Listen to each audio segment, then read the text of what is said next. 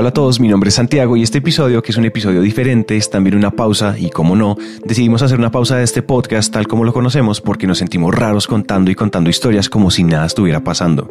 Para nosotros estamos en una época que es mucho más que unos días de aislamiento. Estamos en una época de reinvención, de aprender y desaprender a todo nivel, como personas, como empresas, como familias y como sociedad. Y esta reinvención ocurre por varias cosas, un poco por la urgencia y por los retos que tenemos enfrente, pero también porque en los últimos 15 días hemos sido conscientes de muchas cosas, o del verdadero valor de la formalidad o del ahorro, pero sobre todo de la solidaridad como un valor intrínseco del ser humano. Por eso con este episodio y durante unas semanas queremos contar historias con el tinte y el estilo de talentos y hay, pero queremos hacerlo alrededor de lo que estamos viviendo. Queremos precisamente contarles historias de reinvención, de recursividad, de supervivencia y de solidaridad. Desde Protección presentamos una serie de especiales con el único objetivo de sumar, de contar historias que nos inspiren y que nos den ideas y luces en medio de todo esto. Bienvenidos. ¿Cómo estás, Juan? Doctor, qué bueno verlo. qué chévere verte, ¿cómo estás? Años, ¿no? Este que escuchan es Andrés Méndez, en una entrevista y videoconferencia que tuvimos ayer. Andrés lo conocimos en un panel hace años y es de esas personas que uno llama amigo, pero en realidad lo ha visto dos o tres veces en la vida. Es la definición perfecta de un bacán. Es común verlo con gorra hacia adelante y ropa informal. Es politólogo y le gusta enseñar, viajar y dar conferencias. Andrés es uno de los fundadores de una empresa llamada En la U. En la U es el rap de las universidades. Es una super app en la cual la comunidad universitaria en Colombia, México y Perú puede pedir todo tipo de productos y servicios de base universitaria. Comida, papelerías, tutorías, bolsa de empleo, voluntariado, tecnología, todo tipo de cosas, todo operado por estudiantes de las mismas universidades. Pero pues antes de eso éramos un holding de amigos que tuvimos ocho empresas nos quebramos, tomamos malas decisiones, algunas buenas, de ahí quedaron proyectos, aprendimos muchas cosas y esto... La historia de Andrés y la historia de la empresa, que son fascinantes, se las vamos a quedar debiendo. Para esta historia es necesario que entiendan que en la U, más que una aplicación, es una red de ecosistemas universitarios. Todo lo que uno puede necesitar en su universidad está ahí. De hecho, no sé si saben, pero en protección.com slash talentosidad tenemos disponible un marketplace de prácticas profesionales y de oportunidades laborales para estudiantes. Y ese marketplace precisamente es hecho en conjunto con En la U.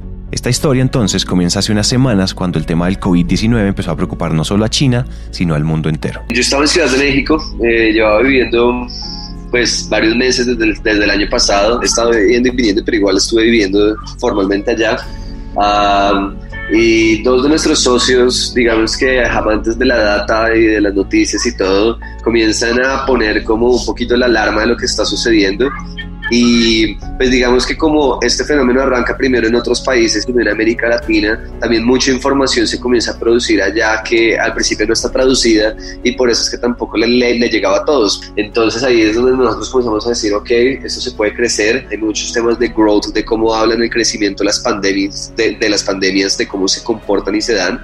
Entonces la primera conversación fue, Andy se tiene que devolver, devolvamos también al equipo de México, a las personas que están allá, qué decisiones tenemos que comenzar a tomar en relación a eso y tras llegar, pues digamos que ya comienza el estallón de todo, porque todas las universidades en América Latina comenzaron a cerrar su operación, eh, comenzaron a cerrar clases o a prepararse para pasar a clases digitales, y eso significaba que nuestra operación se iba a caer, como las, digo, igual llegan vacaciones luego, entonces eso significa para nosotros que vamos a tener ventas fuertes otra vez hasta agosto, y que si bien nos estamos preparando para muchas cosas digitales, solo digitales a futuro, no hacía parte del plan de corto plazo.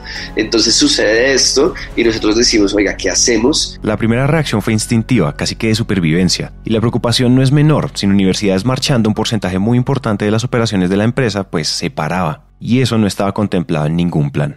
Voy a ser 100% sincero, porque es que la primera etapa fue la etapa de crisis, donde decimos, oiga, podemos quebrarnos.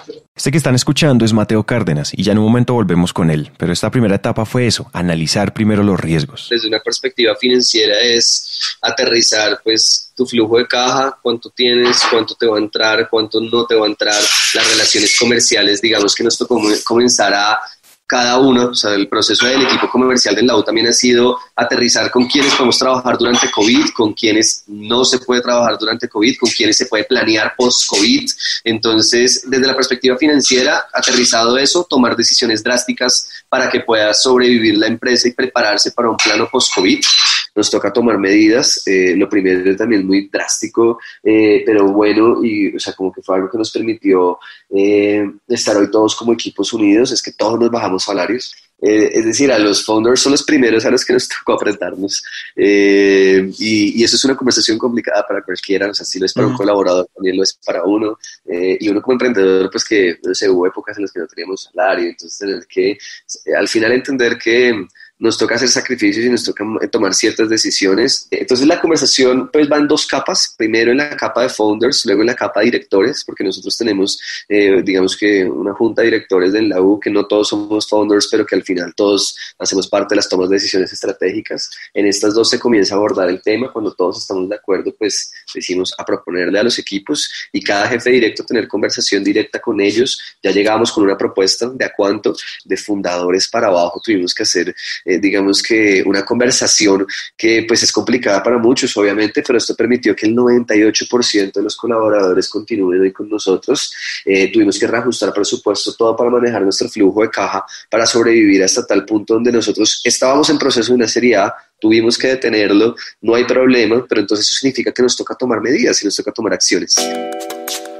Sin embargo, después de evaluar los riesgos y de tomar decisiones para mitigarlos, viene una etapa igual o más importante, que es evaluar las oportunidades. Luego de esa parte, o paralelo a esa parte, porque, porque fue casi que inmediato, entendemos que esta urgencia y esta crisis que teníamos interna era colectiva.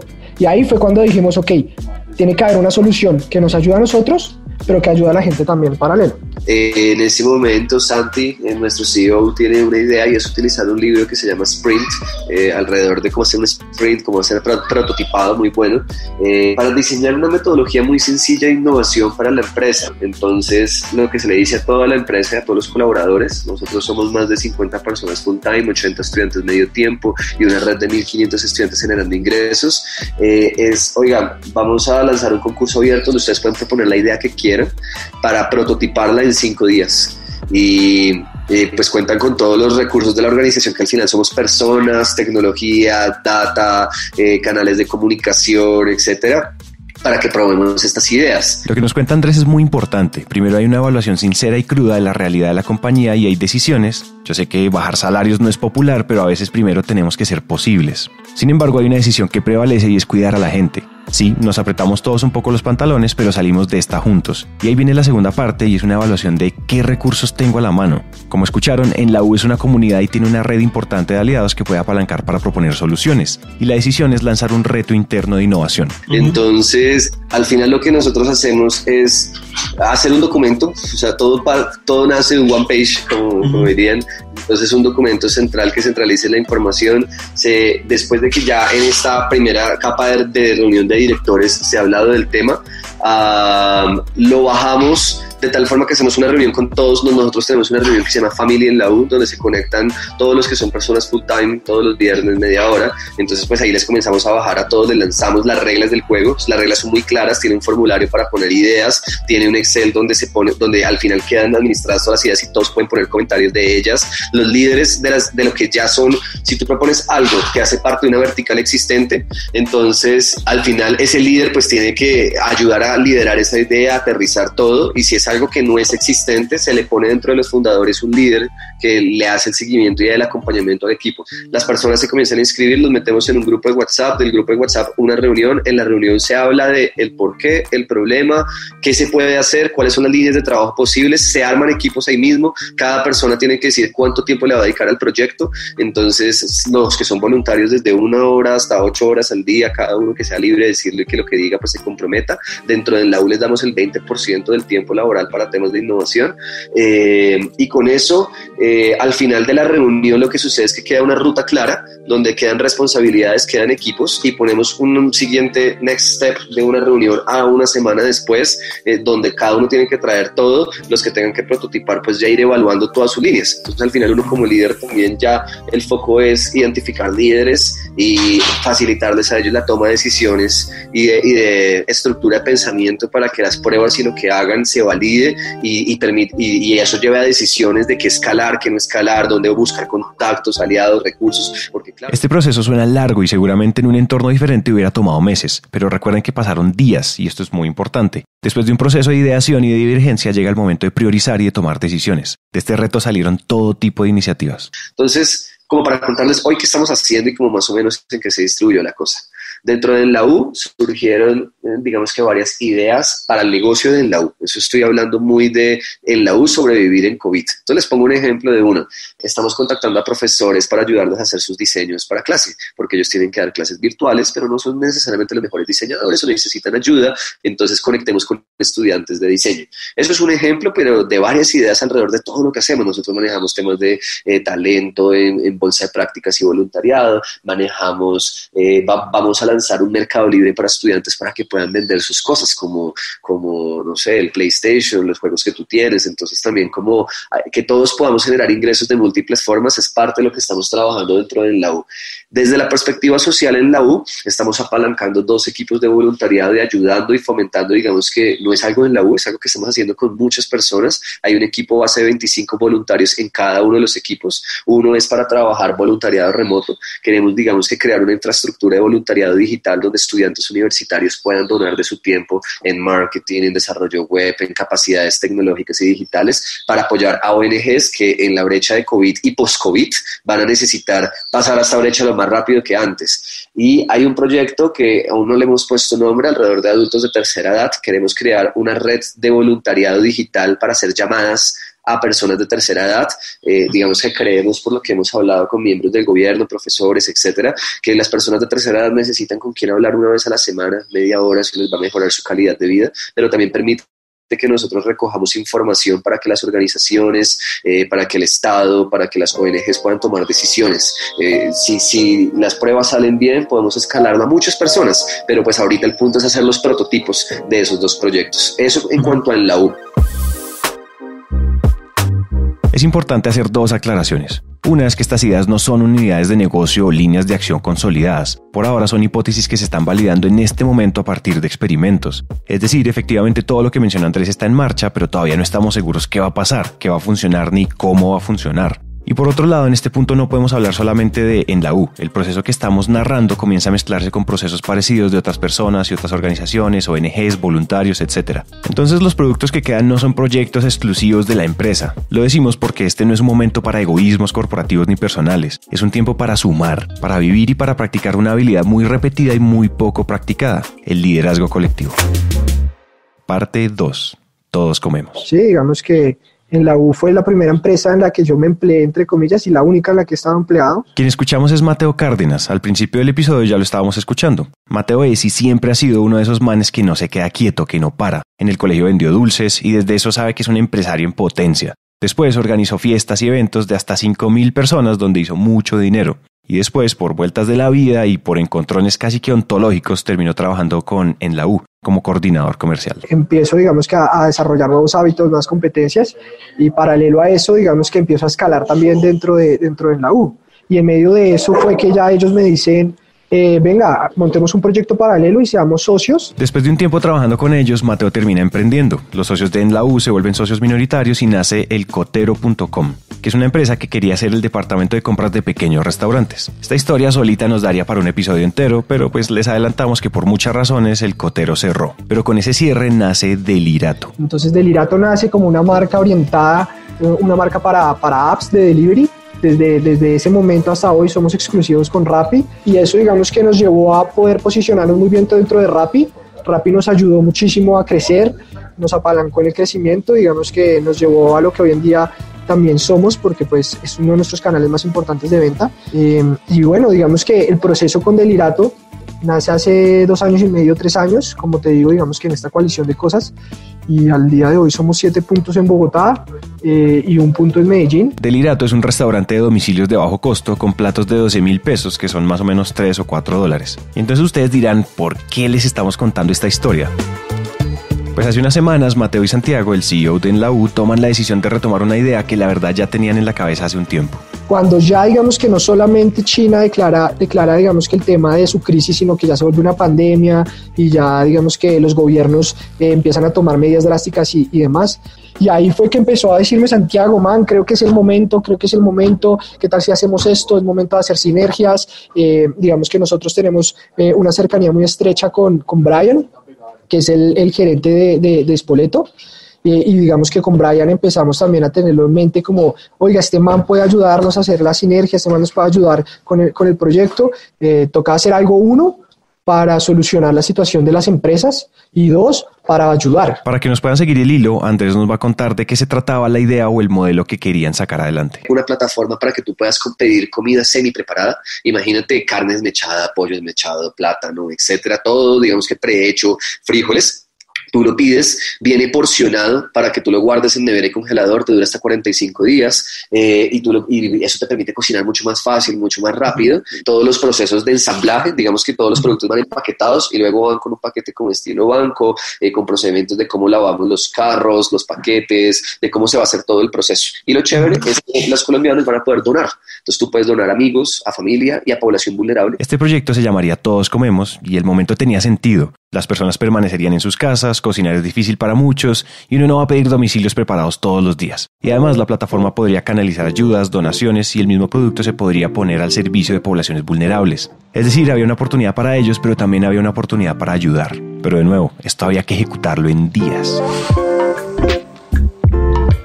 Entonces nos reunimos con, con, con, Brian Despoleto y, Camilo, que es como el equipo de trabajo de, de ellos, eh, Santiago eh, y, yo, digamos que ahí ya nos reunimos a, desarrollar, digamos que lo que, lo, que lo que iba a ser el modelo, cuáles eran los paso a paso que teníamos que tener, cuáles eran los aliados iniciales para poder tener tracción. O sea, necesitábamos, tenemos, o sea, digamos que en ese momento dijimos realmente a quiénes necesitamos dentro de este proyecto para que se pueda llevar a cabo mañana. O sea, para, para que mañana podamos salir con un pedido y que con la venta de ese pedido se pueda donar algo a quién tenemos que tener. Y ahí digamos que dijimos, venga, tiene que estar este, este y este. Casi que un 80% del tiempo conectado todo el tiempo en llamada, un video de llamada con Santiago. Santiago me decía, man, mira, eh, monté este typeform, eh, por favor, modifica esto, tú, tú, tú, listo, eh, venga, toca revisar los precios, listo, revisemos los precios. Eh, y digamos que sin, sin desconectarnos empezamos a llamar, oiga, venga, ¿estos precios qué? Entonces llamamos a Spoleto, venga, ayúdenos a montar, digamos que los precios correctos. A, a, digamos que ahí empecé, digamos que a darme cuenta que se necesitaba un paso a paso, entonces empezamos a llamar a, los de la planta de producción, bueno, ¿cómo, ¿cómo podemos hacer un paso a paso claro y sencillo para que la gente cuando reciba el producto pueda regenerarlo? Listo, empezamos, digamos que con Santiago a identificar eh, cuáles eran las preguntas claves a hacer. Todo el tiempo, desde hace, desde hace cinco días a hoy, todo el tiempo he tenido por lo menos unas 60 conversaciones en WhatsApp. Ahí, tuf, tuf, tuf, tuf, tuf. Entonces, digamos que salen cosas y salen cosas y salen cosas y, y, y, y entran personas a trabajar en el proyecto que, que, que, hay veces ni yo conozco. Entonces, simplemente me toca estar chequeando, me toca estar revisando qué están hablando. Eh, si tengo apuntes, digamos que escribir apuntes y si no, dejar que ellos, digamos que sigan organizando, sigan ejecutando. Eh, y, y todo el tiempo con Santiago sobre digamos que sobre temas de, bueno, y, Santiago me pregunta, bueno, ¿cómo vas a manejar el tema de la expansión en, en, otras ciudades? Entonces ahí empiezo, digamos que a sacar, a sacar los aliados, como te decía, como, bueno, ¿qué stakeholders necesitamos en Medellín? ¿Sí? ¿Qué stakeholders necesitamos en, Barranquilla? ¿Qué stakeholders necesitamos en Cali? Y empezar, digamos que a, a, proyectar, digamos que la, la operación, la logística, eh, digamos que empezamos, digamos que también a Santiago me empieza a preguntar mucho sobre, oiga, man, ¿es momento de contactar a esta persona? Y le digo, no, todavía no. Oiga, ¿es momento de esto? No. Entonces, digamos que también empieza como la parte de entender los momentos dentro del momento, ¿sí? entender el tiempo dentro de los momentos. Y digamos que ya, digamos que otro socio dice, listo, yo, yo me encargo de toda la parte de, de, de, la línea social, de contactar a las fundaciones, de empezar a mirar a los aliados, entonces es empezar también con él por directo y hacer reuniones de, bueno, cuáles son las fundaciones que necesitamos, qué es lo que más se necesita, digamos que en este momento, eh, y digamos que ahí empiezan, digamos que conversaciones hasta la una de la mañana con Méndez, como o, oiga, vea cómo, cómo, cómo, cómo, cómo se está organizando, digamos que cómo está comunicando, eh, digamos que con Méndez pidiéndole consejos de, venga, ¿usted qué opina de esto? Oiga, ¿cómo comunicaría esto? Oiga, toca contactar a tal persona. Méndez regañándome, no, porque contactaste a esa persona así, eso no se hace así, tan. Entonces, como, como eh, hablando mucho, digamos que mi papá me decía, como, oiga, ¿usted cuántas palabras habla por, por día? Porque digamos que ha sido un tema de no callarse, ¿sí? ha sido un tema de estar hablando todo el tiempo, man, todo el tiempo llamadas, todo el tiempo chats abiertos, eh, digamos que eh, hay una línea muy delgada entre mostrar como el interés con las personas con las que uno está reunidas, pero hay momentos en los que toca de paralelo escribirle a alguien porque está varado en algo. Entonces ha sido así, ha sido así el día a día. Eh, digamos que por las noches, digamos que anoche fue un día en el que me tocó parar, irme a meditar un rato como que respirar, centrarme un poco, eh, digamos que aunque hay una velocidad, digamos que entender que que, que, Dios está en control, ¿sí me entiendes? Porque si no, uno se vuelve loco intentando tener, querer tener en control a todo el mundo. Hicimos el prototipo, eh, pónganle que en esto nos demoramos dos días haciendo la plataforma, dos días más preparando todo, salimos el sábado pasado y eh, al domingo ya teníamos una buena cantidad de pedidos, habían 140 donaciones, si no estoy mal, eh, en redes sociales nos comenzaron a, digamos que salimos ese día en periódico, fueron cosas muy orgánicas, personas como eh, influenciadores, etcétera, como muy sumando a la onda de lo que estamos haciendo. Si ustedes entran a www.todoscomemos.com pueden hacer varias cosas. Primero, pues pueden pedir a domicilio comida semi preparada. Justo aquí tengo abierta la página y veo que pueden pedir, por ejemplo, pollo, res desmechadas, salsas de todo tipo, lasañas, costillas barbecue o frijoles negros. Productos que duran 7 días refrigerados y 45 días congelados y que son preparados por varios restaurantes que, ojo, son emprendedores que también están viviendo muchos retos ahorita. Además de eso, pueden donar, ya sea a una fundación que prefieras o a una familia específica que conozcas. Ellos ponen la logística. Cada plato donado cuesta aproximadamente un dólar y por cada plato que donen ellos ponen uno adicional. Es importante reiterar que Todos Comemos no es ni una plataforma de delirato ni una plataforma de en la U. Es un producto construido colaborativamente entre muchas organizaciones y empresas y es un producto que continúa en estado beta. Y digamos que en este momento estamos en la etapa de, de ya de iteración, de, de, de ver cómo responde el mercado y cómo cambiamos, cómo responde el mercado, cómo mejoramos qué feedback da el cliente, cómo mejoramos, cómo están, digamos, que, que, saliendo los, los pedidos, cómo mejoramos, qué retos tecnológicos tenemos, qué retos operativos tenemos, qué retos comunicativos tenemos y, y, ahí estamos en eso en este momento, estamos identificando eso. Todo se va conectando y todo va creando sinergias, fácilmente. Esto se puede volver una plataforma incluso más grande que en la U. Y, y, con las proyecciones que tiene y con la necesidad del impacto que además estamos en la situación en la que estamos, puede crecer a ritmos acelerados. Al final es una conclusión sencilla, juntos hacemos más. Eh, todos, entre más juntos trabajemos, entre emprendedores, empresarios, organizaciones, Estado, etcétera, vamos a hacer mucho más y vamos a superar esto más rápido porque claro, esto, esto también se comenzó a regar y entonces nos está llegando una mano de contactos a todos, eso llaman de un lado, del otro, de gobierno, de empresas, entonces también toca tener mucha claridad mental y mucha calma de, pensar y tomar decisiones. Y aún así, pues vamos a mí, estamos todos emocionados, yo, digamos que a mí me dicen aquí en la casa, mucha vida es gritando, te la pasas hablando de un lado a otro, entonces, claro, nunca nos imaginamos que en, esto, en esta crisis fuera a haber tanto trabajo, pero al final también es la forma de reivindicar que se trata de que todo se pueda hacer digitalmente, todo mientras que tenga documentación, canales de comunicación claros y una metodología, que las metodologías están en Internet, Lean Startup, Growth Hacking, eh, Sprints, etc. Eh, y es mucho de facilitar a los equipos.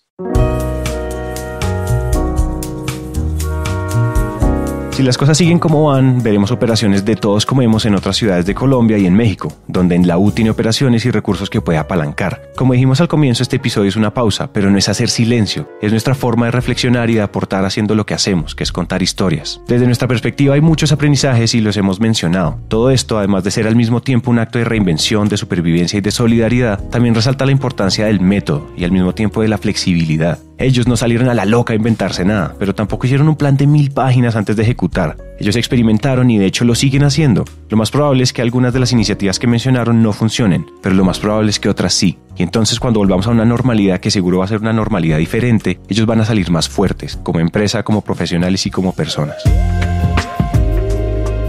Y justo aquí quisiéramos terminar. Es fácil creer en la idea de que esta es la historia de las cosas que hicieron esas organizaciones, y en realidad no. Esta es la historia de las cosas que hicieron las personas con los recursos que tenían a la mano. Esta es, ante todo, una invitación a que entendamos que como personas la necesidad de sobrevivir y las ganas de sumar no tienen que ser excluyentes. Protección se une a este podcast con esa idea. Queremos contar historias de personas que se estén remangando desde sus puestos de trabajo, desde su tiempo libre, desde sus funciones o su conocimiento, y queremos reflexionar a partir de esas historias. Si quieren proponer a alguien, escríbanos por WhatsApp al número más 57 317 316 9196. Les repito, escríbanos al más 57 317 316 9196.